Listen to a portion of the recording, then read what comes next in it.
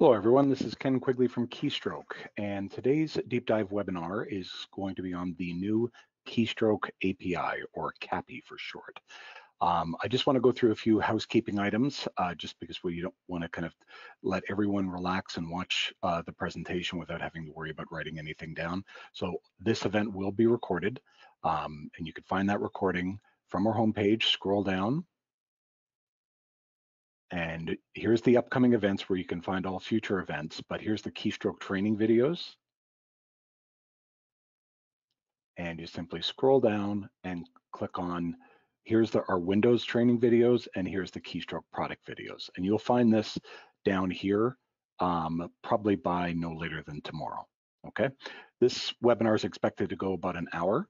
Um, we're going to do a fairly deep dive on the product, the integrations, and Austin, the developer of the Keystroke API, as well as uh, custom tables and many of our other products, is actually going to do a demonstration of the setup and configurations.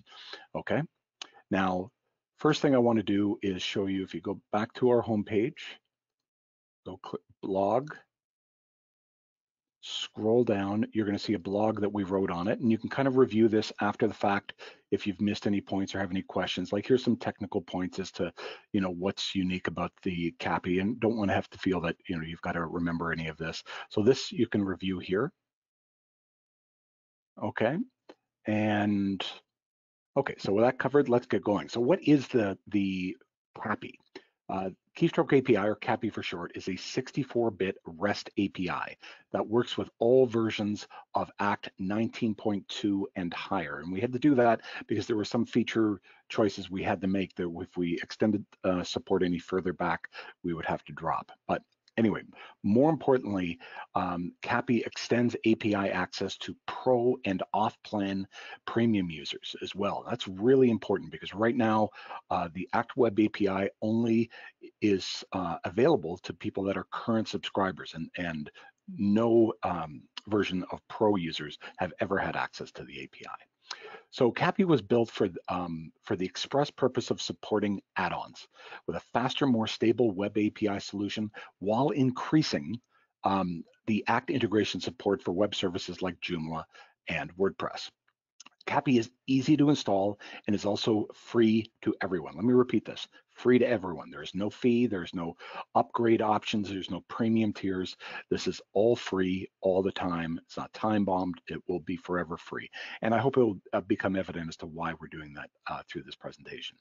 Anyway, depending on where it's being used, some additional environmental setup may be required like static IPs or DynDNS and some port forwarding, but those are all things most ACCs or IT people are extremely familiar with.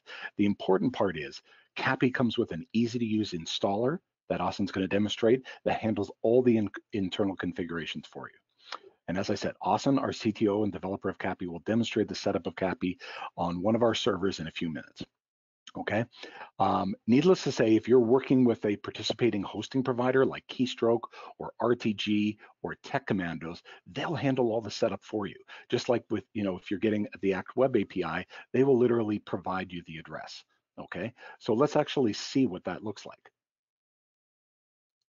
So here's a current list of all of the um, Act Web APIs provided by SNRTG. and if you scroll down further, here's the current um, APIs for CAPI, okay, or the CAPI addresses. And as you can see, very simple, very short, and typically they'll have a forward slash CAPI extension okay? And this is uh, currently available in ours and um, RTG servers, and we're expecting, you know, I'll get into some of the other ones um, in a little bit. So what, that's CAPI. What, what isn't CAPI? So what CAPI isn't is a replacement for the ACT Web API. So let me just go up here. So here's our connections page. So ACT um, the ActWeb API is an exclusive connector for things like AMA, Insights, dynamic dashboards, Outlook or Word integration, specifically the V22 and V23 Outlook and Word integrations, or the mobile app that shall not be named. Okay, CAPI is also not a replacement for Act Connect Link, which is actually not really about the API, but more about um, you know providing kind of a tunneling service. Okay, and while CAPI can run alongside the Act Web web API on the same server, okay, because um, CAPI is a 64-bit API and currently there's only a 32-bit version of the ActWeb API. Uh, CAPI cannot work for SaaS databases since SwiftPage is the only one um, that hosts uh, the APIs for SaaS and they will never, I, I presume never, will support the um, CAPI, okay? So let's go over to Okay, go back here, click on shop and scroll down to a selection of most of our API uh, products. Okay, so what is the objective of CAPI? The first objective is CAPI is uh, for us is to build API support uh, for uh, our add-ons. And to that end, we have updated the following applications to support CAPI. So the first one is handheld contact API. So Vic will be doing a demonstration at the end of, you know, the, the different setup processes for handheld contact API. Now remember, this will now be available to pro users and off-plan premium users in a way it was never previously available. So previously only classic handheld contact was a, a mobile option for the um, for pro and uh, off-plan premium customers. Well, now once they set up uh, CAPI, the API solution can work for them as well. Um, the other product that uh, Austin retrofitted this week was Act for Mail, okay, as well as all of the Linktivity products, specifically Link to Calendar, Link to Events, Link to Forms, and Link to Lists. And I'm going to be doing a little bit of a demonstration on, uh, you know, the, the slightly different setup uh, procedures for CAPI at the end of Austin's presentation. Okay, now one of the things that isn't really known around the community is was our very first CAPI deployment because it's it's you know one thing to say you know CAPI this CAPI that but what is it like what is a real use case where we've deployed it internally for our own business purposes and what that was the very first iteration was the keystroke account manager okay? And the Keystroke account manager provided our customers direct access to their account and licensing information from the internet, okay? They logged in with their email and their, I'm getting some static here. Okay. They logged in with their, their email, their, um, their account number and their password, and they were able to get direct information on their account that was being read directly from our database. So let's just see a quick example of that. So here is the login. Now this is available in uh, our mobile apps as well for iOS and Android, but for uh, simple Windows users, you can go to uh, KAM for Keystroke Account Manager, Manager.kqc.ca. Here's our account, here's my email, here's my password, and I can click on go. Now, what this is is logging in. It's checking um, checking against our database using CAPI, and now we can just click on here, and it's going to read all the subscription information, licensing information that's in our ACT database, support contracts, and many other features, okay? Now we've built in some other functionality in this, but those um, first three are all reading directly from our database that we were able to, um, to connect using CAPI. So there's a real life um, example. So if you were thinking of building a membership tool where you kept all your members in the ACT database and you provided wanted to provide an internet front end for them to log in, uh, renew, because our customers can even renew their subscriptions or renew their, uh, support contracts. All of those would be available as a um, CAPI connected service. Okay. Well, that's the use case. Now, phase two I've already discussed a little bit, um, and that is to make sure that CAPI is available to as many people as possible, um, and that's through the, the hosting providers uh, like RTG, as I showed you, has already uh, deployed it for their V22 and V23 servers. Uh, Tech Commandos um, will be deploying it in the near future as well. They're committed to it, and I've already talked to uh, John Klubnik, He's excited about it. And the documentation for setting it up um, will be distributed to all of the ACCs next week. We've already written it up so that you guys will know how to deploy it on your own uh, customer servers. Um, and again, this is something that Austin is going to run through uh, a demo of. The third, the third objective is, is you know, the inevitable one, and that is to work with the development community. And in the coming weeks and months, we'll be hosting many training webinars for the ACT development community, distributing supporting documentation to them as well, so they can comfortably build solutions that they know that they can rely on. Solutions that, you know, have better filtering. And Austin's gonna explain some of this 64-bit API, so much better management, fewer uh, crashes based on the 32-bit architecture. So all of this, and obviously this is going to support, um, you know, ACT in the fall when they come out with a 64-bit architecture because we're already there. Okay. The fourth objective is to build a plugin for popular website content management systems like WordPress and Joomla, so people can really integrate easily the different data exchange functions um, into their website we can I, I, showed you an example here um, and then we can expand uh, to include things like e-commerce solutions shopify hikashop woocommerce. Like for instance every single person that checks out um, a product on our website automatically it's checked against our our database and if they're not there they're added to our database. No data entry at all and it's all done through a CAPI connection Okay, and the last thing is, uh, before I hand it over to Austin, um, we're expecting some people to ask, so I just want to say that building a Zapier plugin uh, for CAPI is on the roadmap, um, but honestly is not a priority right now because Zapier integrations with ACT is really not strong enough for us to prioritize. Um, and I'm not sure, honestly, with CAPI, we would be adding much to what we found is already a weak uh, offering. So it's on the roadmap. We're going to explore you know, you know, different ways of attacking it. But our current priority for May is to build things like plugins for people to easily integrate it with WordPress um, and uh, Joomla and uh, some of the e-commerce solutions that I uh, I mentioned. So with that, uh, concludes my present portion of the presentation. So I'm going to make Austin the presenter. You ready, Austin? Hi, Sam. Okay. Okay, let me know if you guys can see my screen. We can. Yep.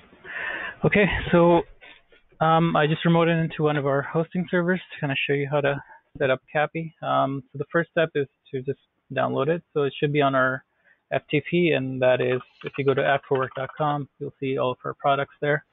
Um, you want to scroll down to the CAPI folder here and double click to download it. Um, should be pretty small download. Um, and setting it up is again pretty straightforward. You just run it, um, just hit run, and um, you will hit next and install, and that should do it on, if you're on um, Act for Web uh, server setting. But uh, it, I understand that some of you may not have that. If you have um, uh, Act Pro, um, or if you're just running uh, Windows 10, you will need to install IIS. Um, so before you do any of this, you want to make sure um, IIS is installed. Uh, you will get an error message um, uh, if you attempt to install it with that um, not available. So um, I'll show you both the server and the uh, Windows 10 um, environments, how to do that quickly. so if you're on a Windows server like this, just open up your server manager from the start menu. Okay, and on the top, click Manage and Add Roles and Features. Okay, hit Next on the first page here. Um, you want to do role-based. Um, and also, there should be only one uh, server listed on this page, but if there's multiple, just select the one you're logged into right now. Um, hit Next. And just for clarity, Austin, this is for people that don't have IIS installed, right? Like this is not yep. something that would be required if it's already there. So it's not it's not part of the CAPI setup, more the environmental setup. Yep. Yeah. So like I said, yeah, if you have actual web already installed on your server, it, it already installs IIS and everything. So you, that this part you don't need to worry about if you have. But if you have Act Pro or if you're running Windows 10, then you, you will need to do this. Um, okay. So and hit next. Um, so on the select server roles page, um, scroll down all the way. Um, you'll see IIS web server. Um, so you just check that, hit add features, um, hit next. Um, and uh, you want to make sure that the ASP.NET 4.5 is checked right now because it comes installed with Windows. It's already checked, but for yours, it might not be checked by default. But uh, you want to make sure you do that. Um, and hit next again. So this is just the web server. Also here, you will need to uh, enable a couple of things. Um, you want to scroll down, uh, can you put the delay here on my side? Give me one moment.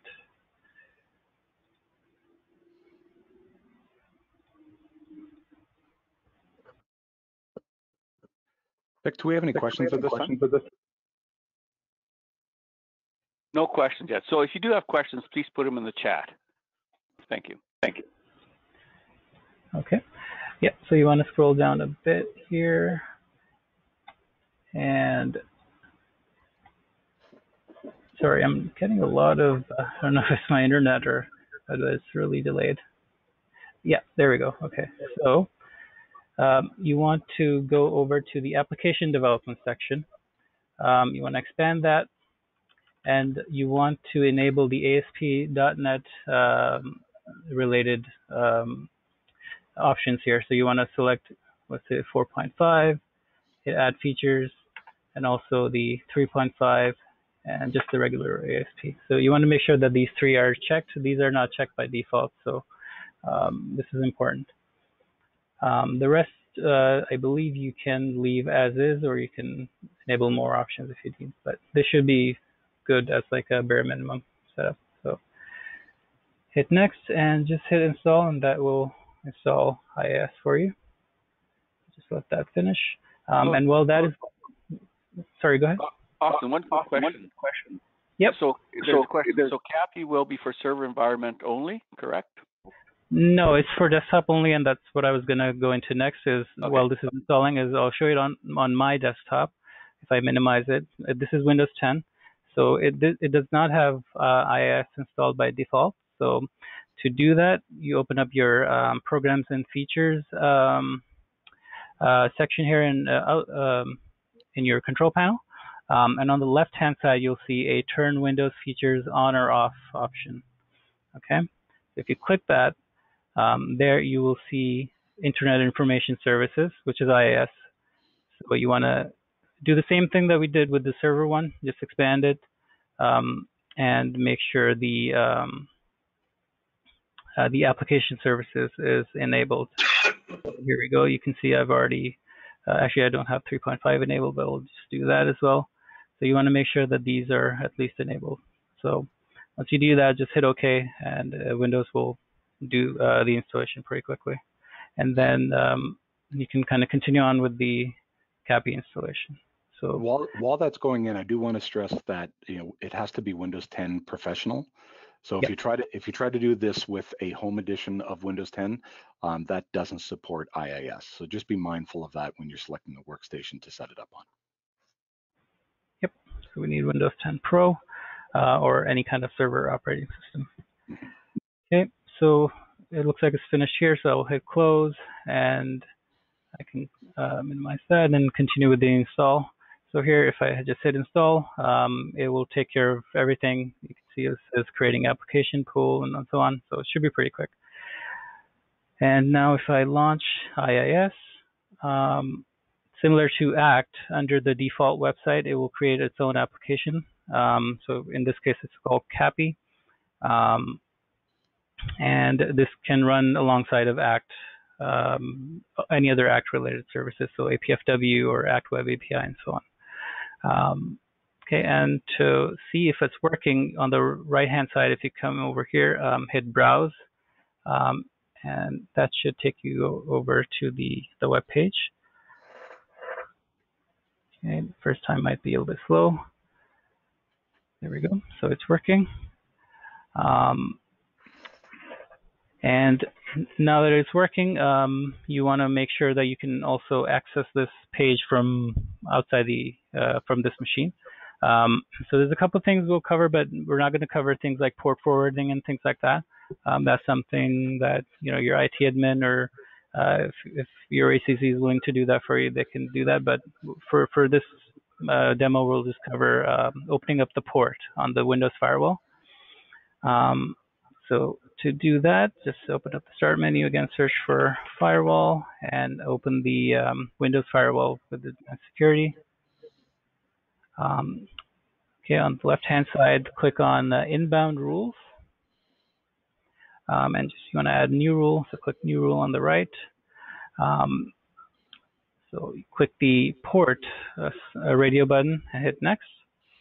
Um, so for now, um, I'll just open up port uh, 80, but if you want to set up a SSL certificate, which is highly recommended for security, uh, you also want to open up the port 443 as well. And you can do that by just doing comma and then 443. So this way you can open two ports in one rule. Um, and just hit next. And you want to allow the connection, which should be default. Uh, hit next. And uh, you can leave all these checked next and then give it a, a name like uh, allow CAPI or something like that and hit finish and that should open up the port um, and now you can access this um, uh, from the CAPI from outside the um, uh, this machine so if I open up uh, my browser here on my local machine um, I have uh, the server has a host name s28.acthosting.net slash CAPI and you can see we can reach that.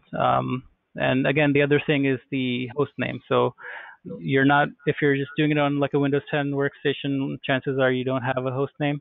Um, so again, you will need to look at something like a dynamic DNS service um, that will give you a host name as well. Um, and again, that kind of makes it uh, worthwhile to actually host your database with us instead of this, because instead of you know paying um, you know some IT person to do all this, you can pay much less just and just host the database with us and we'll kind of take care of all these steps for you. Um, but you do have the option if you go if you want to go that route. Um, so this is going to be your URL.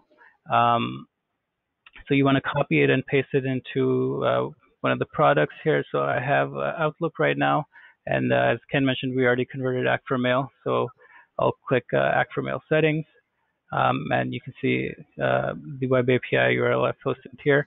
Uh, we've added two radio buttons at the top. So uh, we now can support CAPI and ActWeb API. So you want to make sure you're on CAPI, uh, enter your URL. Everything else you'll leave the same. Um, and if you just hit login, you'll see that it's able to log in. And uh, you should be good to go. And I think that's pretty much it for the demo. Are there any questions so far? Ken, Vic? I don't see any questions uh, other than what we've already answered. Okay, so give, give one more moment.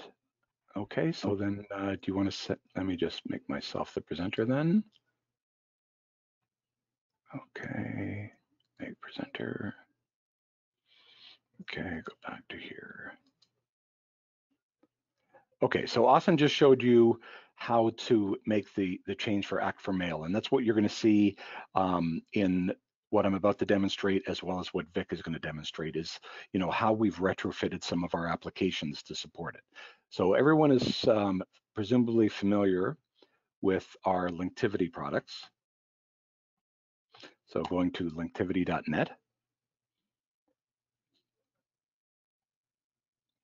Okay, Obviously, it had my information cached. So here's all the different program options, and here is quite plainly the um, API settings. So as you can see, much like an Act for Mail, there's radio buttons uh, options at the top. So you um, currently it's selected for Act um, the Act Web API. If I selected this, um, and put in the address, then that it would work against that connection. You'd have to click save and then you'd have to test the connection. Now, if you currently are using um, any of these API uh, programs like Link to Calendar, okay, Link to Calendar will adjust automatically um, to the new API or CAPI connections. However, if you have um, link to events, like all of you guys that are in attendance here, signed up using the link to events um, invitation page, okay? Link to forms, and um, Austin, I don't think it affects link to list, does it? Uh, it does affect link to list, yes. Okay, so a link to list, any of these features, link to events, link to forms, link to lists, if you switch over to CAPI, you will have to recreate any of the events or forms or lists. So what I recommend, uh, especially with events, is wait until you've kind of gone through your uh, monthly scheduled events, switch over to the um, to CAPI, okay, and then re uh, create your new ones using those connections because those configurations won't work anymore because basically those forms are, you know, uh, internet facing uh, links back to your database. Well, those links were previously reliant on the Act Web, Web API, and those links, once you switched uh, your connection method, will now be dead. Okay, and we can't, you know, change those connections. So they have to be recreated. The one conspicuous exception is link to calendar, uh, which, you know, will adjust automatically. Okay, any questions on that? Okay, this is easy. Okay, very good. Okay, so the next is, um, if there is no additional questions on that, uh, let's switch it over to Vic. Vic, uh, you're muted right now, but I'm going to make okay, you the yep. presenter. Normally I'm in favor of muting Vic, but in this case, you know, we got to do it for the audience. Well, I won't even say anything, or I could mute you, I guess. That would probably be easier. So Yeah, welcome, everybody. Um, so what I'll do today is just show you a quick setup of just a few minutes of the demo. And so we have our HHC API right there. And so this is uh, um, a dev build. You, uh, it's not released yet. Uh, the builds for the Android will be released on Sunday, so it'll be active on Monday. And we're just working out the final details of the release for the iPhone. But the iPhone is just in the final stages of uh, beta testing. There's not a whole lot more to do. Yeah, no, so that'll probably go go live beginning of next week as well.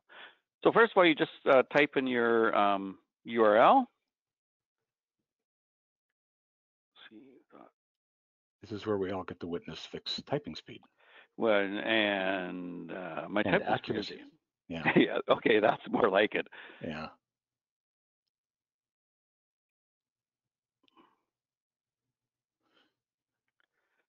So you're that's using, the you're using your fingers, right? uh, just ignore Ken. Uh, I usually do. It works quite well for me. Mm. Oh my goodness. Yeah. Okay, we're almost there. No performance issues.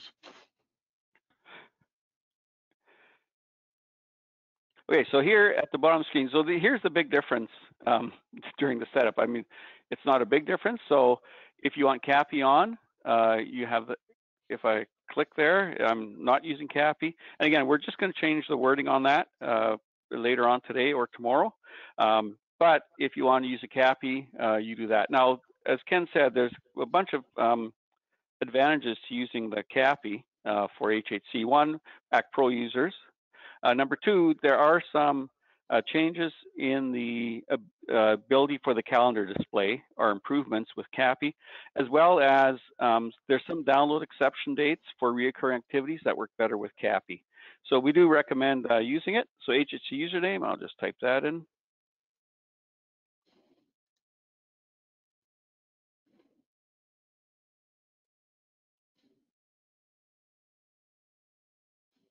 And I log in. So again, the setup is identical. Uh, I have a group here called All Contacts. Again, with the API, those of you that haven't used it, uh, for the API, you do have to choose one group and only one group.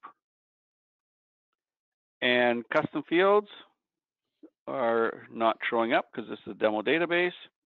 And you also download opportunities. You can go through again and choose all the uh, fields that you want to synchronize. Click next, and then we're ready. That's how fast it is.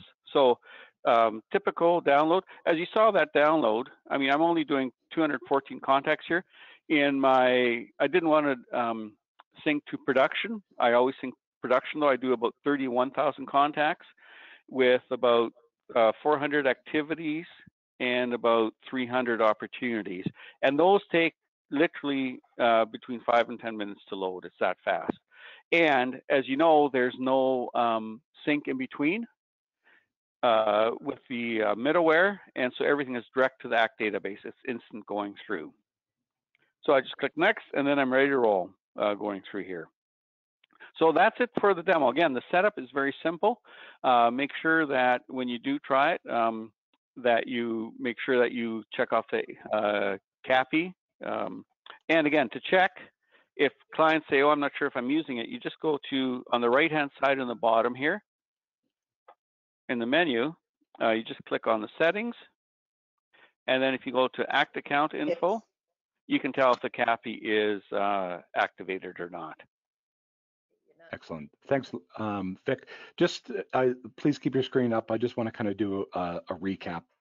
So mm -hmm. um, obviously based on you know what we, we've built here uh, for the handheld contact, uh, we will be contacting a lot of our hosting customers that are currently using Classic. We've actually provided Classic hosting services um, in the past, and uh, hosting providers like RTG, like Keystroke, and like Tech Commandos, um, and uh, John Klubnik most certainly have been, you know, extremely generous with their time and and their the resources supporting this.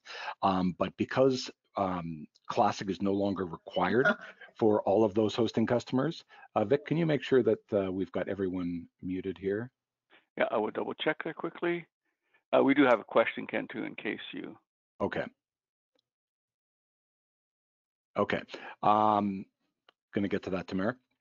So the, just one second. Okay, so what we're going to do is we're going to be slowly replacing um, and nudging a lot of the people that we're hosting and some of the other hosting providers are hosting um, and you know provide this CAPI solution so that those users can have access to the API solution. Now, why is that important? Well, if you have a hosted database and we are hosting your handheld contact classic, then no matter what, you are in a long queue of all other users that are being hosted, okay? Just gonna ask anyone that's participating to um, to have themselves muted. Okay, so what CAPI does is it provides you a direct connection to your data. So you're not in queue with anyone. You don't have to wait for anyone else to complete a sync. So you can get much more uh, updates of a lot more data more frequently. Okay, so this is a much better hosted solution and it's a lot easier on the resources. So this is where we're going to be um, heading.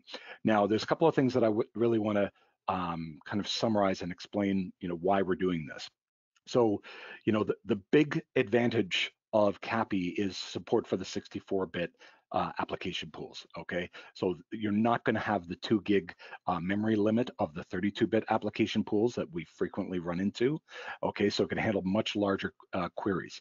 The other thing is it supports much faster filtering, which is performed at the SQL so, uh, server level. Uh, parameters are saved in headers, and I apologize, some of this stuff is a little technical, are saved in headers instead of query strings. This means that you can have a large amount of parameters um, and not run into the IIS limits, which require editing of the web config file, okay? Uh, there, there are or uh, there are easier ways to manage and maintain each parameters is kept in its separate um, header instead of one long URL. Okay, that was a bit technical. Um, the other thing is, and this is really relevant to us as uh, for handheld contact, is CAPI has certain endpoints that are not available in the ActWeb API. And this has been a real struggle for us, uh, such as getting activity cleared information or deleted dates. Uh, frequently when we're um, pulling down information and someone clears an activity or deletes an activity uh, in ACT, handheld contact can't reconcile that. So what we had to do is build these workarounds where every 24 hours, all activities are downloaded.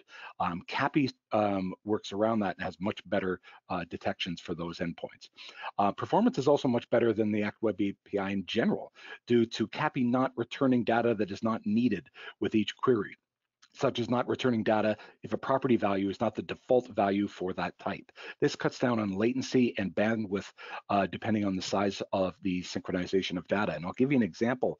We had one customer that used to store huge image files uh, on their database in uh, picture fields okay? And she basically could not get AMA to work because there was no field filtering to uh, work around those or exclude those fields. So what would happen is AMA would constantly crash and not be able to retrieve group data because those um, image files were so big and, you know, AMA would, or the, um, uh, the API would just crash trying to account for those massive um, files. Okay, so we've got the ability with CAPI to filter out what we don't need. Um, and to that point, uh, performance improvement because you could select which fields you want to get the value on.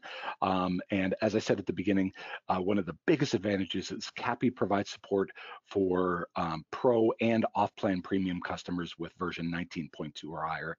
So really, for all of the the API functionalities and for developers out there and resellers out there that really want to offer things like link to calendar to all of their customers on active subscriptions or not, CAPI really provides that bridge to, you know, a huge legacy audience. So we're hoping that that, um, you know, that really extends what we can do and offer uh, to all of our ACT customers, past and present. Okay. Um, and why is it free? The reason it's free is because we want this to be the standard. We want people to develop against it. We we don't want to keep layering on costs. We're not increasing the cost of any of our add-ons that have multiple connection supports. So you know we want to make sure that you know people have access to this technology um, so that they can provide these services. Now think about all the ACCs on the call. Think about the amount of uh, additional consulting that they can provide, setting up their customers uh, with CAPI for those that don't want to be in a hosted environment. This presents all kinds of different, um, you know, consulting opportunities and providing your, you know, really offering yourself as a gateway to all the different other API services that suddenly they're accessible to. And if you're on the development side, you can start building against plugins um, so you can integrate, like we I showed you with CAM, integrate um, services um, into the customer's website that exchange data directly with their ACT database. All of these things lead to more stickiness, lead to people, you know, getting more out of their ACT data. And we don't have to sit back and, you know, listen to other people say, well, this can't be done with ACT, that can't be done with ACT. Well, guess what? With CAPI, free, it can be done with ACT. Okay, and we can hold our head a little bit higher and offer uh, deeper, um, more meaningful uh, services to all of our customers. Now let's quickly go through the. Uh, oh, Ken, there's one question here that came just to me. Uh, will HHC CAPI work uh, without internet access? Um, you need internet access because the uh, CAPI, um, well, things like, actually, let me clarify. So things like handheld contact is um, an on-premise solution. So in that case, you know, you've got the data on your device, but you still need CAPI okay, or an internet connection to connect to your database that is um, connected to CAPI. So, you know, the, the, there, this isn't magic. There, you know, you still need connectivity of some type. This provides, uh, you know, the the the, the connectivity uh, connected. Sorry, let me rephrase that. That's badly put. Um, CAPI will provide the connection to the database. It won't provide the internet to the database. Correct. But uh, so the question I think um, was asking is, if I don't have access, can I still have access to all my information? And the and the answer is yes. Yeah, if there's data exchanged, absolutely. A lot of the solutions that we've built, um, for instance, like I showed you the Keystroke Account Manager, that information um, gets cached and that's available instantly. And just like with the um, with handheld contact, that gets downloaded, it's on your device. So you know it, it's kind of a qualified yes because it really is going to depend on the application that you're using and how the developer has set it up. So a lot of our tools will download the data like handheld contact, um, but if you're you're looking for obviously a connection for updated information, internet would of course be required. Excellent. Okay. okay. Should I read the questions here? Uh, I see Karen has asked if there's written uh, documentation for the process. Yes, Karen will be distributing that next week to all ACCs, uh, providing a link to it. We're probably going to add it to the same folder that the download is in, so people have like kind of one place to go.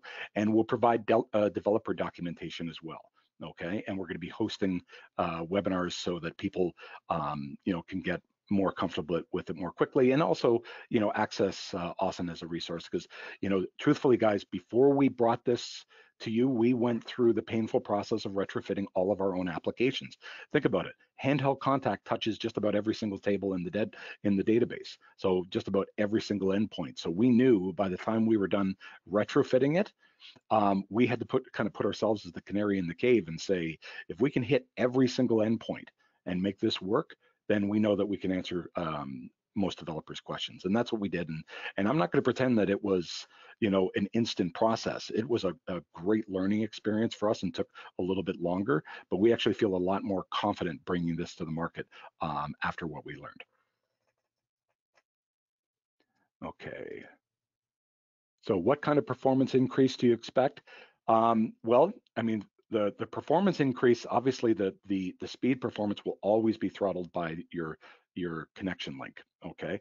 But what we've seen is, you know, if you're running against a 32-bit uh, API versus a 64-bit API, and you're you're chunking a lot more information, then that's going to pass through much much more efficiently because the system can use whatever memory it requires okay, as opposed to being limited to a two gig limit, okay? If there's a small amount of data being transmitted, you're probably not gonna see a whole lot of difference because there isn't any thresholds that you're hitting. Um, Ken, can I can I elaborate on that question a bit? Because I, if you remember before your webinar a couple of weeks ago, I did do a little benchmark. Um, so, so I basically ran a query on the entire database, which was it was about I don't know 250,000 contra- uh, contacts uh, and one or two fields, I believe. Um, so, and this is testing with the 64-bit API, by the way, of Act. Oh, good. So oh, it, it shouldn't have any. So it's pretty much identical, both 64-bit and both pretty much the same query. Um, CAPI returned everything in I think three-ish minutes, um, and the Act API I think crashed after 20 minutes and returned nothing. So. So yeah, then, so then the difference becomes a bit binary, right? It one works, one doesn't. One doesn't. Yep. Yeah, sorry, Austin. I remember you actually showed me a few of those benchmarks. Those were excellent examples. Um, but you know, to someone's point, if you're dealing with a small amount of data, you might not see um, you know a measurable difference. But the more data that you're bringing through, then yeah, um, that one case I actually was watching those um, uh, those uh, benchmarks, and it was pretty incredible to see the difference. You know, where one was in three minutes and the other one just crashed after 20. Okay, so let's see here. Just uh, be... Steve, sorry, Steve has a question. This will not work for the the poor uh, devils hosted by ACT. Um, so you know, condolences are obviously implied. Um, it will not work because they will not um, support any API other than their own. So that you know, that's what I kind of said at the outset, and that's why it's not going to be available as a SaaS. Now, in a perfect world, um, which I don't believe any of us think we're living, but in a perfect world, SwiftPage will at one point realize that they haven't really developed an optimal API for add-ons, and they will consider incorporating this in to their environment. Um, but I'm not holding my breath, but it, it's possible. Anything's possible. Okay. Um, let's see. So Tom Perkinson asks if we will be sunsetting HH, HHC Classic. Absolutely not. And the reason is that there's a lot of pro users that even don't have CAPI accessible to them.